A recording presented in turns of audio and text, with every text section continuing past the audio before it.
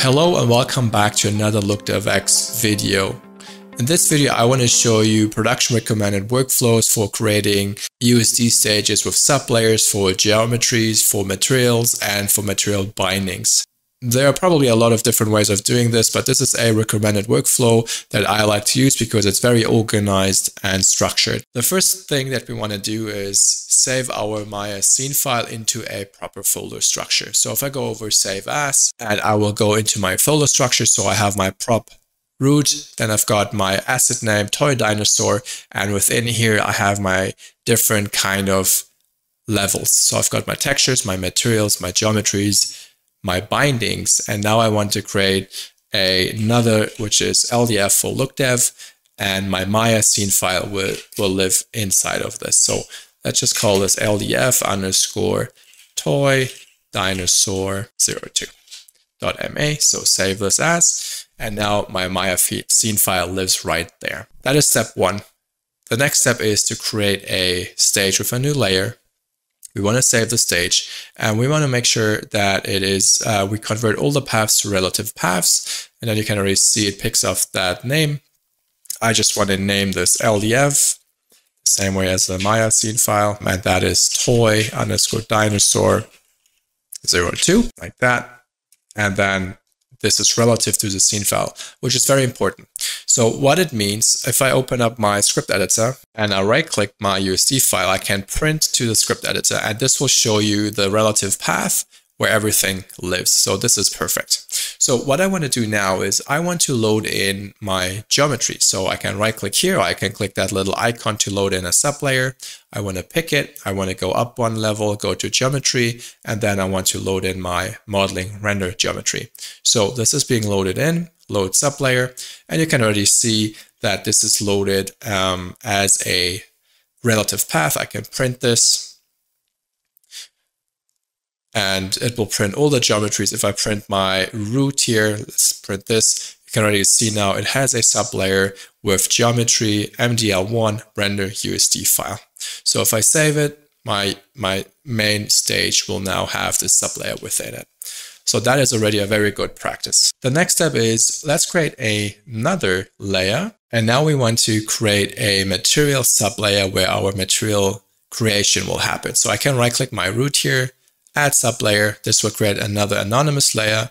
I can save it, save as. I can go to my proper directory, MTL, and I can just name this MTL underscore toy dinosaur 02, and it makes sure it's relative. So you can already see it has the nice dot dot forward slash syntax. Save it, and this is now saved as well. Uh, right now, nothing is in here. And then we want to create another sublayer and this will be our binding sublayer. And I will explain why that is necessary. So double click it, you can save it, and we'll go up to my BND folder, and this will be my BND underscore toy dinosaur 2. And now let's just save my root stage and save everything. And now all my sublayers are being saved. And if I look on disk, I do have my MTL USD files in the correct locations. I have my Maya scene file, I've got my USD files accompanied, and my geometry, which is right here, and my binding, which is right there. All right, all right, so this is the starting point. And from here on out, I will be showing you how to create materials, how to bind them, and how to make things work and not confuse things. So first of all, let's just print our uh, root, and you can see now we've got those three sublayers as well. So that is awesome. All right. So a very important thing, and I cannot stress enough, it is very important that you are always targeting the right layer for whatever you want to do. Right now, my target layer is the blue one at the top here, which means this is whenever I do anything now, it will save it automatically into this root layer. If we want to create a material, it's important we activate this layer. So if I create one using LookDevX, it will be stored in this USD sublayer. If I do material assignments, aka bindings, it's important that I activate this layer to do my assignments. The separation of this is not 100% necessary. Technically, you could have the bindings and the materials in just one layer. It will work the same way, but it will be a little bit more difficult for debugging purposes and A better production workflow for a pipeline approach would be to separate the bindings from the materials. Just imagine what would happen if you save the bindings with the materials and you load different assets, different geometries. The bindings could get messed up very quickly. So if the material is separate, you can always load the material sublayer to anything and then do the bindings in a separate USD file. Just it keeps it just very organized. And I just want to show you that organized workflow. I like that a lot.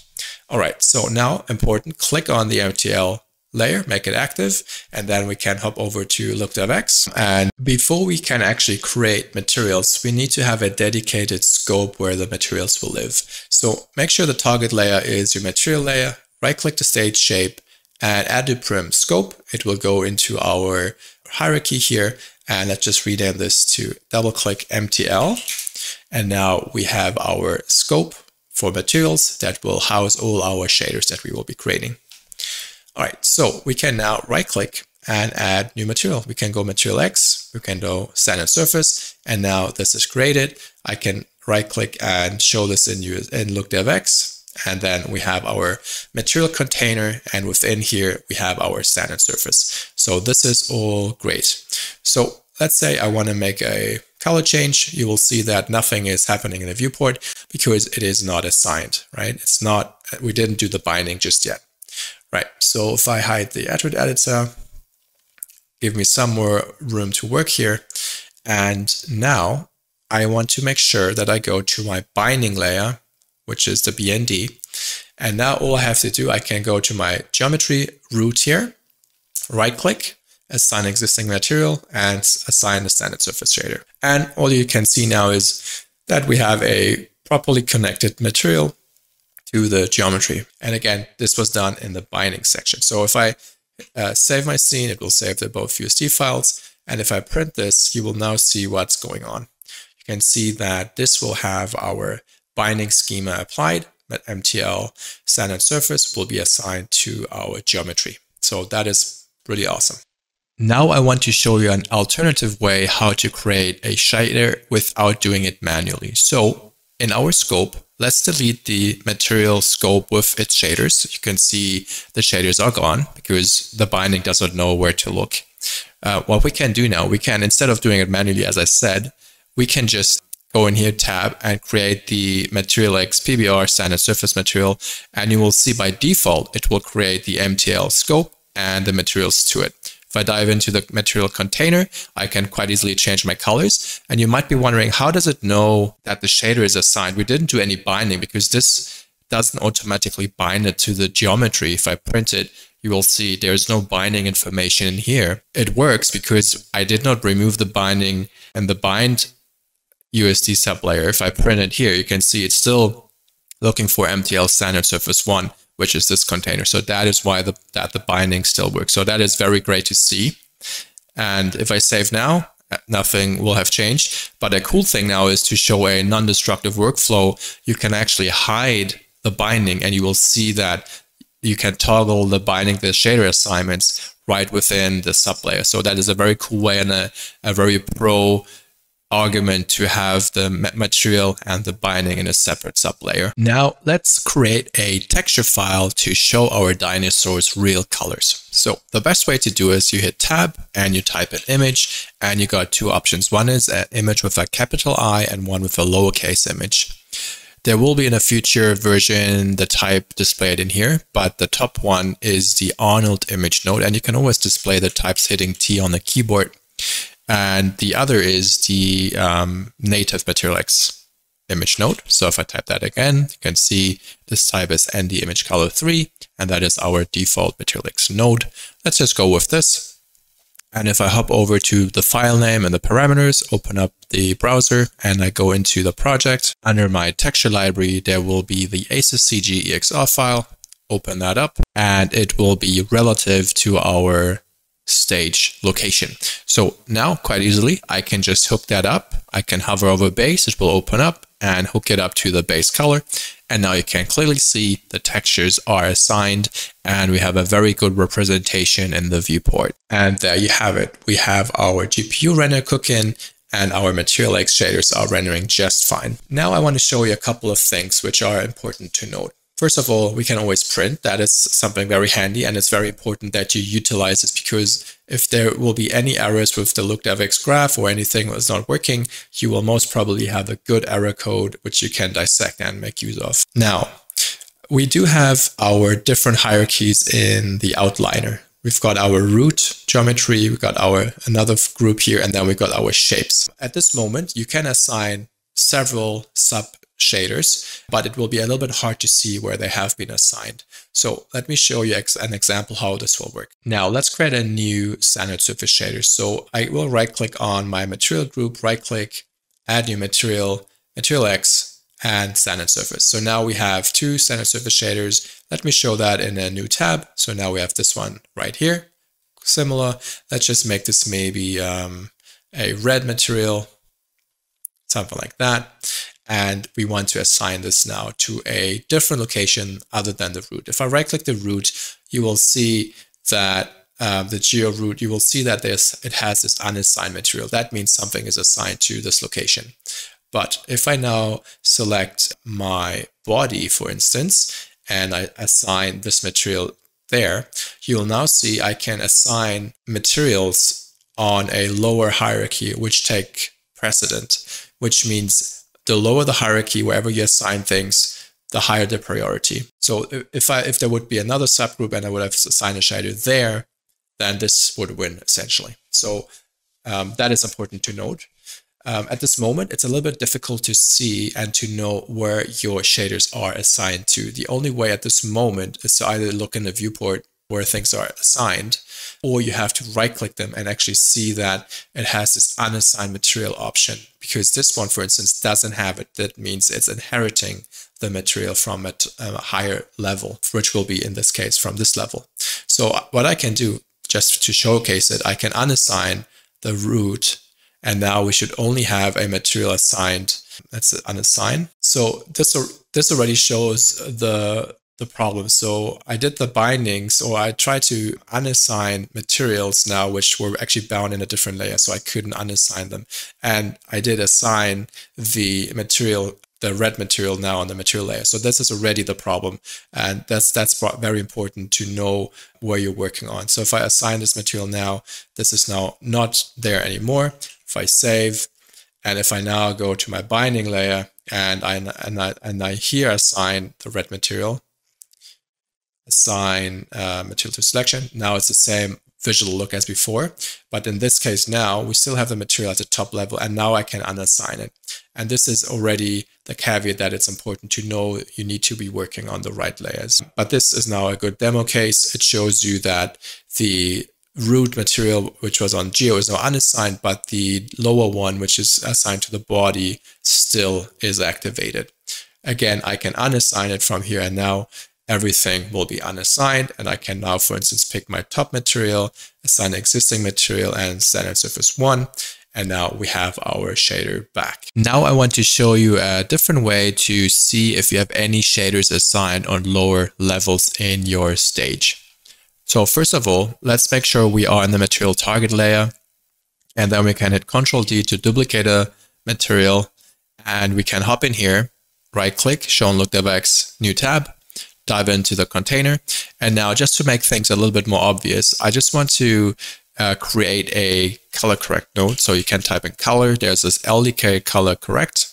Hook that up into my inputs. And then um, at the moment, uh, this is a color 4, which means it has an alpha channel. And it, this one only expects a RGB, so you cannot directly connect them. But if you connect the components, there will be no issues at all. And in the look LookDev uh, correct. I just want to make a hue shift. Nothing will happen because it's not assigned to anything just yet. But what we can do now, if I go back to my binding layer, and let's say I want to select the body here and assign that material, you can now see that the body has been color corrected. It's kind of purple now. And at this mo uh, moment in time, you can already distinguish quite easily. If I right click here, you, you can see that there's show descendants in LookDevX. And it is actually quite helpful because it will list all the materials that live below the current location which you are clicking on. And just to make it a little bit more obvious how this will work, I want to go back to the material layer one more time, duplicate this, And this is now my third shader. I can visualize this in a new tab, dive into the container, and now let's make it um, another color, maybe boost the saturation or reduce it a little bit. And now we have three materials. And the third material, I want to bind this again all the way to the top.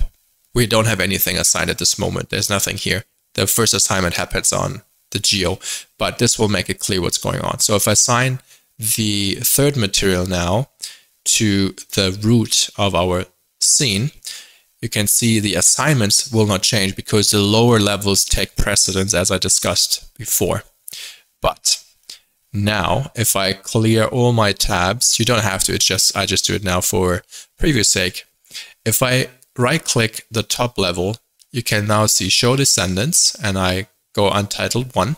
So now it will create all these materials which are the current and below. So this gives me already a good indication that we have three shaders assigned somewhere in the hierarchy. And if I go to the next level, right click, show descendants, new tab, you will now see this has only two, which means from this location on there will be another one. And now it's a little bit of a guessing game because you don't know where it is. But again, you can just right click if you don't, if you're not sure until you see the unassigned and there we go. This has the unassigned in here and then we know where the assignments are happening. Or as always, you can go to your bind layer, right click it, print it, and then you can also see where all the bindings are happening. So that's probably the quickest way to dissect really where they are assigned to. I hope this video made it clear how to set up a good structure in your file system and also in your sublayer system in your stage. I also showed you how to assign materials and how to unassign them, how the hierarchy works, and um, how to make things work in USD and LookDevX. I hope you enjoyed this video and I will see you in the next one where we'll go into way more detail in creating node graphs.